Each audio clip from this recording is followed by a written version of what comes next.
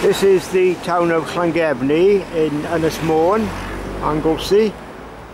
The uh, Llangefni is very much the county town of the island.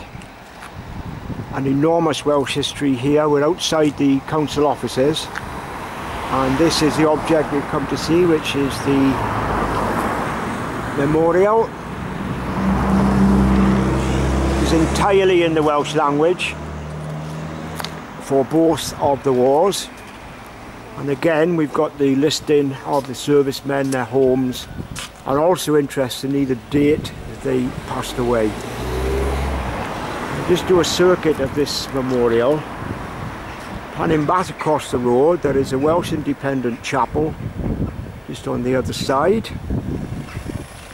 The council offices are here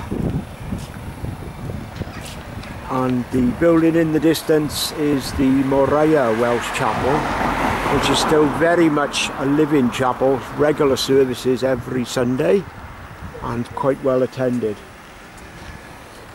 Now we just come back to this memorial again.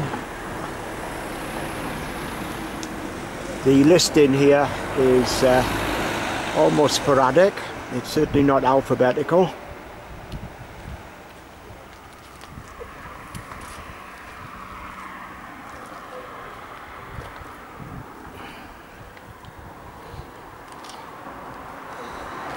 Just on this back side we'll see there are three names, Lewis Jones, John Thomas and Samuel Davis, who died after the war from the effects of the war, which may have been Spanish flu or quite possibly injuries sustained.